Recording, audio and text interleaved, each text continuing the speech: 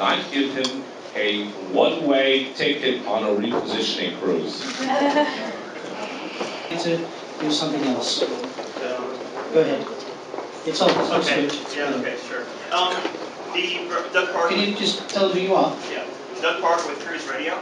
Will, um, the burger joint have vegetarian burgers? Good question. Excellent question. We do definitely do have vegetarian options.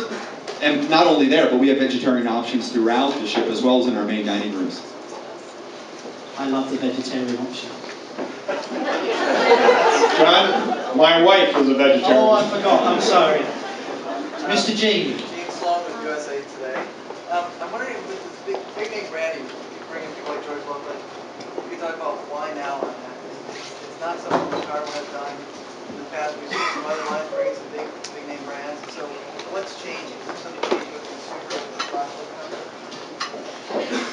Absolutely. I think that, as, as you mentioned, Gene, it's a little bit on the consumer side. Consumer expectation is very different, and brands have become so accessible to the middle American consumer consumer that is our customer. So it's really leaning into that. And how what a better way to emphasize fun than with these icons, both in comedy and in food. I mean, these iconic, fun.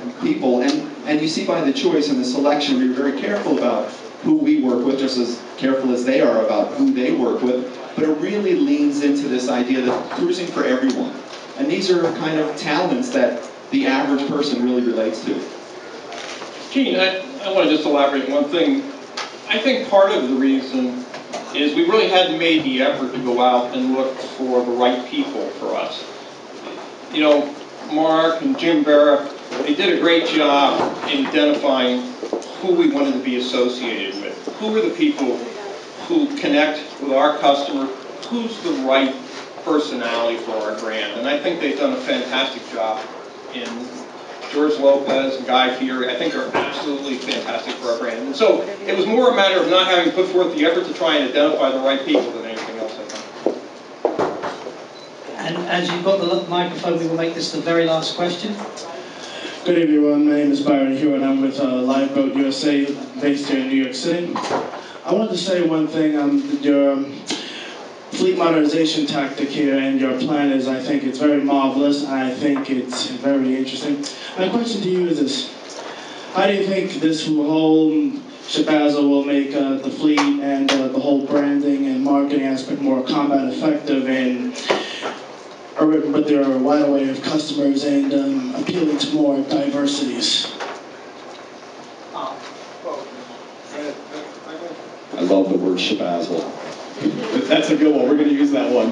But it's really, as you, as you said, and as Gerry emphasized at the beginning of, um, you know, as we were unveiling Funship 2.0, it's about experiences for every demographic that we sail with. And also when you talk about diversity, when you talk about people that really resonate to the entire American population.